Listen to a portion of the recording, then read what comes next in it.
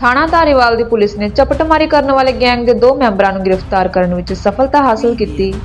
ਜਿਸ ਕਾਰਨ ਸਨੈਚਿੰਗ ਦੀਆਂ ਕਈ ਵਾਰਦਾਤਾਂ ਤੋਂ ਪਰਦਾ ਚੁੱਕਿਆ ਗਿਆ। ਇਹਨਾਂ ਦੀ ਨਿਸ਼ਾਨੇਦੇਹੀ ਦੇ ਲੋਕਾਂ ਕੋਲੋਂ ਖੋਏ ਗਏ 10 ਮਹਿੰਗੇ ਮੋਬਾਈਲ ਫੋਨ ਵੀ ਬਰਾਮਦ ਕੀਤੇ ਗਏ, ਜਿਨ੍ਹਾਂ ਵਿੱਚੋਂ ਤਿੰਨ ਆਈਫੋਨ ਵੀ ਸ਼ਾਮਲ ਹਨ। ਗੱਲਬਾਤ ਦੌਰਾਨ ਡੀਐਸਪੀ ਰਾਜਵੀਰ ਸਿੰਘ ਨੇ ਦੱਸਿਆ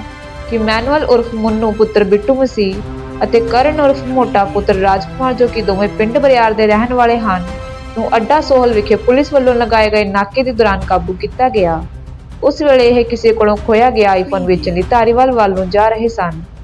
ਪੁੱਛਗਿੱਛ ਦੌਰਾਨ ਜਾਣਕਾਰੀ ਮਿਲੀ ਕਿ ਇਹਨਾਂ ਨੇ ਗੁਰਦਾਸਪੁਰ ਸਿਟੀ ਅਤੇ ਧਾਰੀਵਾਲ ਦੇ ਇਲਾਕੇ ਦੇ ਵਿੱਚ ਅਨੇਕਾਂ ਲੁੱਟ-ਖੋਹਾਂ ਦੀਆਂ ਵਾਰਦਾਤਾਂ ਨੂੰ ਅੰਜਾਮ ਦਿੱਤਾ ਸੀ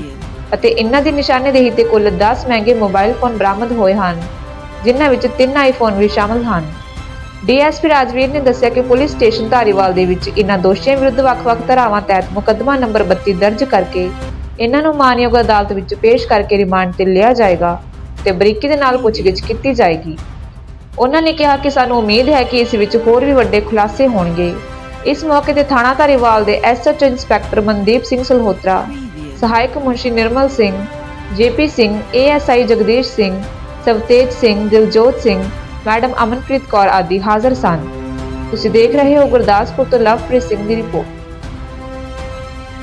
ਹਾਂਜੀ ਸਾਡੇ ਗੁਰਦਾਸਪੁਰ ਜ਼ਿਲ੍ਹੇ ਦੇ ਮਾਨਯੋਗ ਐਸਐਸਪੀ ਸਾਹਿਬ ਦੀਆਂ ਜਿਹੜੀਆਂ ਸਖਤ ਹਦਾਇਤਾਂ ਅ, ਦੇ ਅਨੁਸਾਰ ਜਿਹੜਾ ਵਾ ਪੁਲਿਸ ਵੱਲੋਂ ਜਿਹੜਾ ਵਾ ਜੋ ਇਹ ਚੋਰੀਆਂ ਲੁੱਟਾਂ ਖੋਹਾਂ ਕਰਨ ਵਾਲੇ ਆ, ਇਹਨਾਂ ਦੇ ਖਿਲਾਫ ਜਿਹੜੀ ਆ ਸਖਤ ਮੁਹਿੰਮ ਚਲਾਈ ਜਾ ਰਹੀ ਆ। ਇਸ ਮੁਹਿੰਮ ਨੂੰ ਹੀ ਉਸ ਵੇਲੇ ਥਾਣਾ ਧਾਰੀਵਾਲ ਦੇ ਐਸਐਚਓ ਸਾਹਿਬ ਤੇ ਇਹਨਾਂ ਦੀ ਪੁਲਿਸ ਪਾਰਟੀ ਨੂੰ ਬਹੁਤ ਭਾਰੀ ਸਫਲਤਾ ਮਿਲੀ, ਜਦੋਂ ਕੱਲ ਮਿਤੀ 9/4/24 ਨੂੰ ਜਿਹੜਾ ਸਾਡੀ ਪੁਲਿਸ ਪਾਰਟੀ ਜਿਹਦੇ in charge ASA Jagdish Singh ਤੇ ਨਾਲ ਸਪੈਸ਼ਲ ਬ੍ਰਾਂਚ ਦੇ ਕਰਮਚਾਰੀ ਸੀ, ਉਹਨਾਂ ਨੇ ਸਪੈਸ਼ਲ ਨਾਕਾਬੰਦੀ ਕੀਤੀ ਹੋਈ ਸੀ ਤੇ ਮੁਖਬਰ ਖਾਸ ਨੇ ਇਤਾਦ ਦਿੱਤੀ ਕਿ ਅਮੈਨੂਅਲ ਮਸੀਹ ਉਰਫ ਮੋਨੂ ਸਨ ਸਾਨਾ ਬਿੱਟੂ ਮਸੀਹ ਵਾਸੀ ਬਰਿਆਰ ਤੇ ਕਰਨ ਉਰਫ ਮੋਟਾ, ਸਨ ਸਾਨਾ ਰਾਜਕੁਮਾਰ ਵਾਸੀ ਬਰਿਆਰ ਜਿਹੜੇ ਆ, ਇਹ ਜਿਹੜੇ ਆ ਲੁੱਟਾਂ ਖੋਹਾਂ ਦਾ ਜਿਹੜਾ ਕੰਮ ਕਰਦੇ ਆ ਤੇ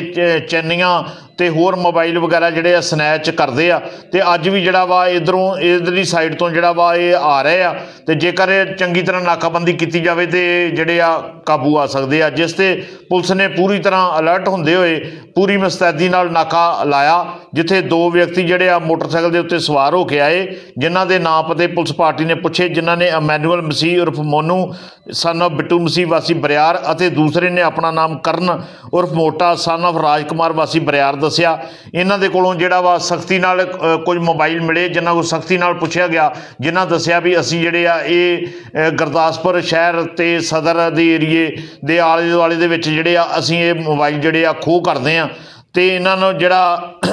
ਇਹ ਹੋਰ ਚੰਗੀ ਤਰ੍ਹਾਂ ਪੁੱਛਗਿੱਛ ਕੀਤੀ ਗਈ ਤੇ ਇਹਨਾਂ ਦੇ ਕੋਲੋਂ ਜਿਹੜਾ ਵਾ 11 ਮੋਬਾਈਲ ਫੋਨ ਜਿਹੜੇ ਇਹਨਾਂ ਨੇ ਵੱਖ-ਵੱਖ ਥਾਵਾਂ ਤੋਂ ਜਿਹੜਾ ਸ- ਗੁਰਦਾਸਪੁਰ ਸ਼ਹਿਰ ਦੇ ਲਾਗੋਂ ਚਾਗੋਂ ਏਰੀਏ ਦੇ ਵਿੱਚੋਂ ਜਿਹੜੇ ਚੋਰੀ ਕੀਤੇ ਸੀ, ਉਹ ਬਰਾਮਦ ਕੀਤੇ ਆ ਅਤੇ ਇੱਕ ਜਿਹੜੀ ਇਹਨਾਂ ਨੇ 골ਡ ਚੇਨ ਸੀਗੀ ਜਿਹੜੀ ਉਹ ਵੀ ਖੋਹ ਕੀਤੀ, ਜਿਹੜੀ 3.7 ਗ੍ਰਾਮ ਦੀ ਹੋਈ, ਉਹ ਵੀ ਇਹਨਾਂ ਨੇ ਮੰਨਿਆ ਵੀ ਅਸੀਂ ਜਿਹੜੀ ਖੋਹ ਕੀਤੀ ਆ, ਜਿਹਦੇ ਸਬੰਧ ਦੇ ਵਿੱਚ ਜਿਹੜਾ ਵਾ ਮੁਕੱਦਮਾ ਨੰਬਰ 31 ਮਿਤੀ 9/4 24 ਅੰਡਰ ਸੈਕਸ਼ਨ 379 411 ਆਈਪੀਸੀ ਥਾਣਾ ਧਾਰੀਵਾਲ ਵਿਖੇ ਦਰਜ ਕੀਤਾ ਗਿਆ ਵਾ ਤੇ ਦੋਸ਼ੀਆਂ ਨੂੰ ਜਿਹੜਾ ਵਾ ਅੱਜ ਕਾਇਦੇ ਅਨੁਸਾਰ ਜਿਹੜਾ ਵਾ ਅਦਾਲਤ ਦੇ ਵਿੱਚ ਪੇਸ਼ ਕੀਤਾ ਜਾ ਰਿਹਾ ਵਾ ਤੇ ਇਹਨਾਂ ਦਾ ਦੁਬਾਰਾ ਵੱਧ ਤੋਂ ਵੱਧ ਪੁਲਿਸ ਰਿਮਾਂਡ ਲੈ ਕੇ ਇਹਨਾਂ ਦੇ ਕੋਲੋਂ ਹੋਰ ਸਖਤੀ ਨਾਲ ਪੁੱਛਗਿੱਛ ਕਰਕੇ ਇਹਨਾਂ ਕੋਲੋਂ ਹੋਰ ਵੱਧ ਤੋਂ ਵੱਧ ਜਿਹੜੀਆਂ ਇਹਨਾਂ ਕੀਤੀਆਂ ਖੋਹਾਂ ਦੀਆਂ ਵਾਰਦਾਤਾਂ, ਚੋਰੀ ਦੀਆਂ ਵਾਰਦਾਤਾਂ, ਉਹਨਾਂ ਬਾਰੇ ਪਤਾ ਲਾਇਆ ਜਾਵੇਗਾ ਅਤੇ ਇਹਨਾਂ ਤੋਂ ਹੋਰ ਵੀ ਮੋਬਾਈਲ ਤੇ ਹੋਰ ਸੋਨੇ ਦੀਆਂ ਚੈਨਾਂ ਜਿਹੜੀਆਂ ਬਰਾਮਦ ਕੀਤੀਆਂ ਜਾਣਗੀਆਂ।